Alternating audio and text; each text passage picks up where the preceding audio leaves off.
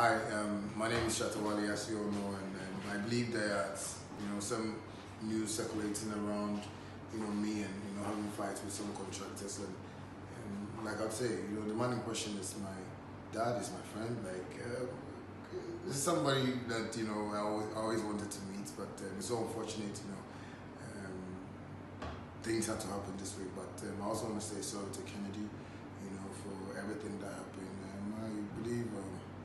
also find a place in to forgive me because it's Ghana and we are one people. That's how we need to live. And anything that has happened, I believe God takes care of the rest of it. So all the bloggers too that are saying I'm giving some contractor four million Ghana cedi.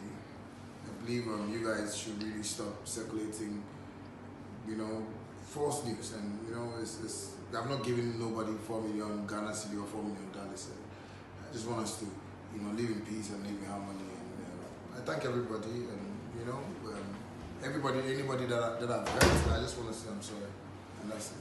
Thank you very much.